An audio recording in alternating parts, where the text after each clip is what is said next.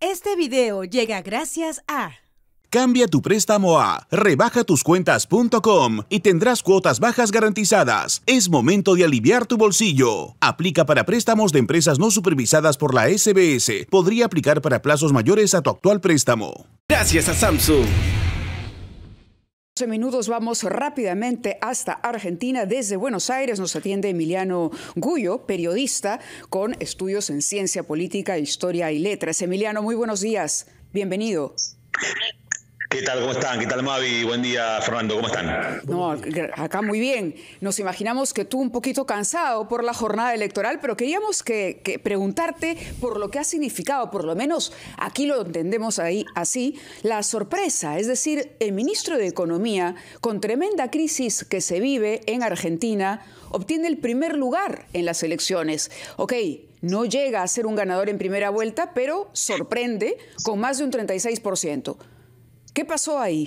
Bueno, si, si finalmente el 19 de noviembre Sergio Massa es elegido presidente, seguramente entrará en los libros de teoría política o de campaña electoral en el mundo, porque con una economía que tiene una inflación del 200% anual, al borde de la hiperinflación, con una pobreza de más del 40%, el ministro de Economía no solamente logra estar en pie, sino logró revertir su imagen, logró revertir su imagen fuera y dentro de incluso la misma militancia. Recuerden que Sergio Massa era muy resistido por la parte más progresista, digamos, del kirchnerismo.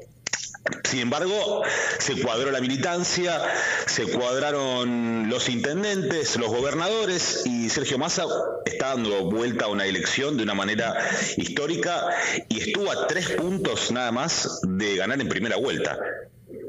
Sí, buenos días, eh, colega Emiliano Gullo. Como en toda elección que tiene dos vueltas, como el Perú y como Argentina, mucho dependerá de quién consigue ese 23% que quedó la tercera excluida, la señora Bullrich. ¿Cuál de los dos candidatos piensa usted que tiene más posibilidades, sobre todo juzgando el discurso que pronunciaron uno y otro el, día de ayer?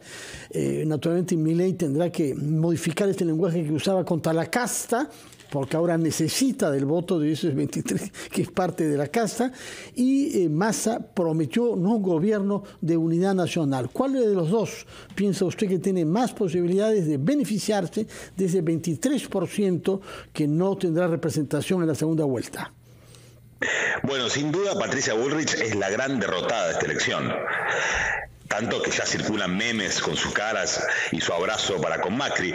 Eh, hay dos cosas a tener en cuenta. Mauricio Macri, el expresidente y líder de Juntos por el Cambio, hizo una campaña paralela a Bullrich apoyando públicamente a Milei.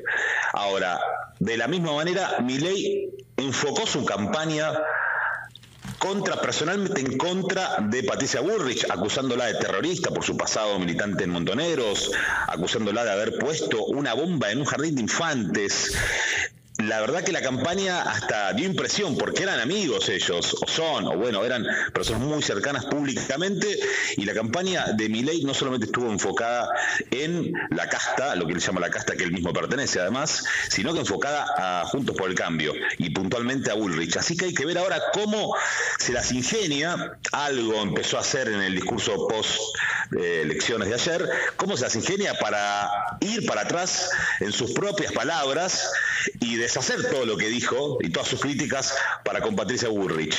A su vez, hay muchos votantes juntos por el cambio que tienen más bronca con Milei que con Massa. Y además no olvidemos que hay un 10% más que está dividido entre un casi 3% del frente de izquierda, con Miriam Breckman a la cabeza, y con Juan Schiaretti, el gobernador de Córdoba, que tiene un 7% alrededor.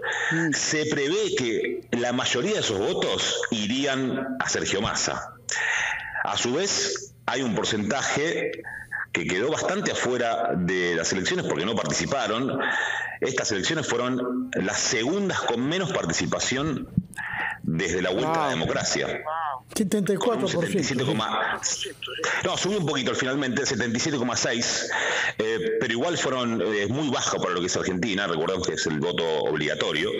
Entonces, para una, como un adelanto, uno podría estimar, nunca sabe, ¿no? Nunca sabe qué puede pasar en un mes en Argentina, ustedes saben que puede pasar cualquier cosa, pero se creería que Sergio Massa eh, tiene las mayores chances de ser presidente. Pero bueno, todo está por verse todavía y ahora empieza otra campaña. Claro, empieza otra campaña rumbo al balotaje. Guillermo, perdón, Emiliano, muchas gracias por estar con nosotros esta mañana. Eh, gracias por ese análisis. Vamos a ver qué es lo que pasa el 19 de noviembre, pero como decías, de ganar masa, se escribirá o se ganará el título de un capítulo en la historia económica y política del país. Muchísimas gracias por acompañarnos, Emiliano. Un abrazo grande.